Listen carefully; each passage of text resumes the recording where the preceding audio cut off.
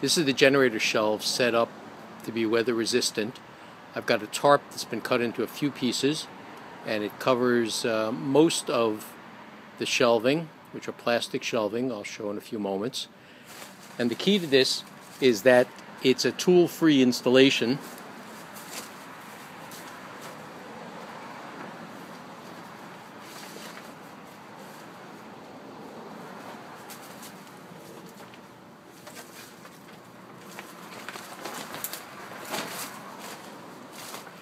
Everything is being held on by magnets.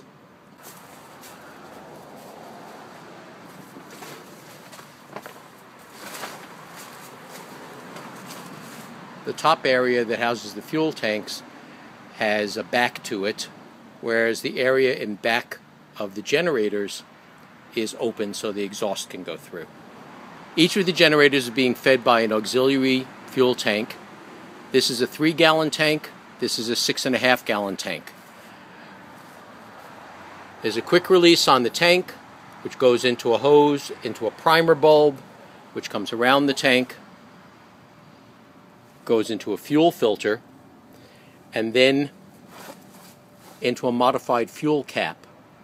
This one I modified the Honda fuel cap, got them connected with fuel quick disconnects, this is the Evinrude style connector. The same goes for both generators and both fuel tanks. The reason I chose one 6 gallon and one 3 gallon tank is to have one be a little more portable in case we ran into a problem and a neighbor ran into a problem.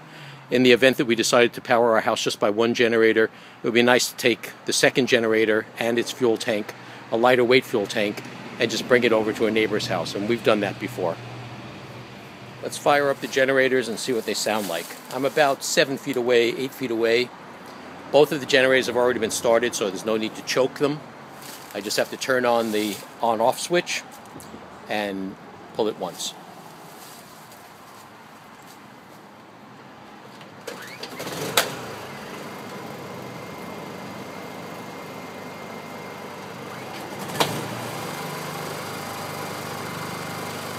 Now the two generators are running. They're both running on eco mode and there's no drain on them at the moment because we've still got utility power to the house. I'll go inside shortly and turn off the power. Here you can see the two generators. They're identical Honda EU2000i generators, each providing 1600 watts rated and 2000 watts peak power. They're connected by a series of uh, cables, banana plug cables on each generator. The banana plugs go from one generator into the other generator, then up into the GenTran parallel connector kit, out through a 30 amp plug, down to a wire, and then gets connected into a GenTran power inlet box. Then I can put the weatherproof covers back on.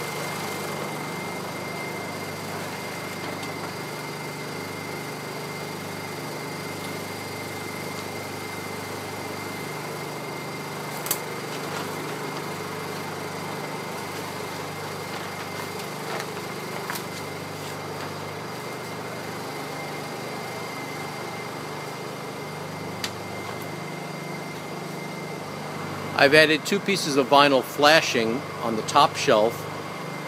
This serves as a roof to keep the weather off of it and also serves as a shelf to put extra fuel tanks on top and I can use a siphon or jiggle siphon to refuel from these tanks into the auxiliary tanks.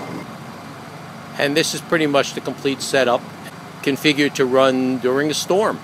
On the other side of the wall from the inlet box, I've got a gem box with a duplex outlet and this just gives me a place to plug in an extension cord before it goes into the main panel and we also have um, a little light here which will light the stairway. This is being fed purely by generator power. This continues from here down into the basement. The power comes into the basement through 10 gauge wiring and terminates in a cable. And when I plug this in, you'll see that this light here for generator will come on.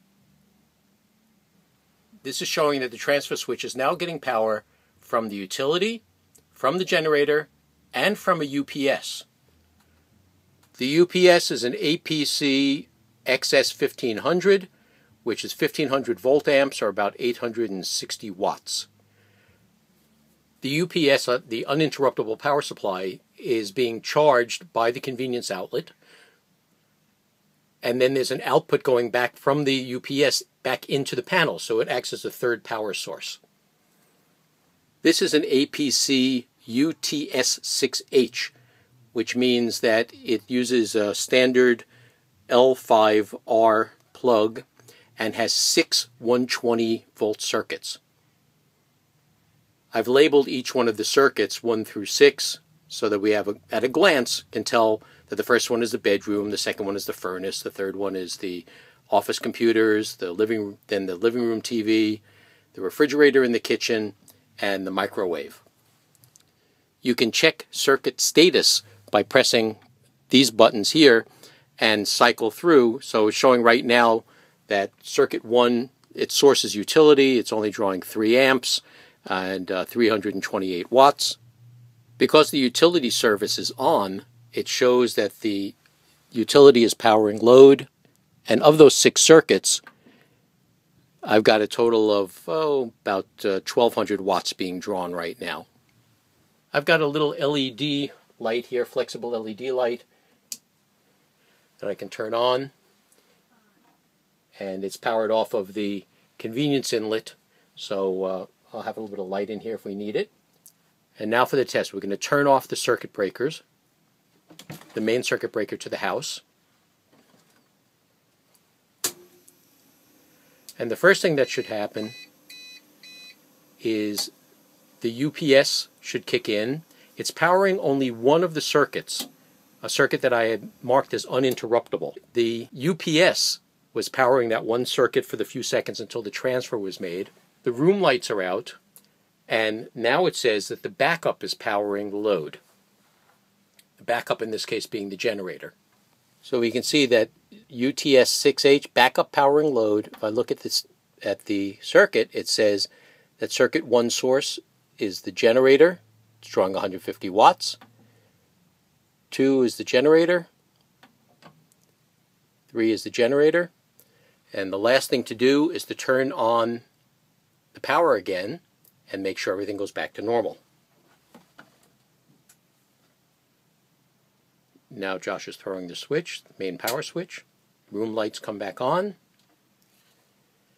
The little green light should come on, showing that utility power has been restored.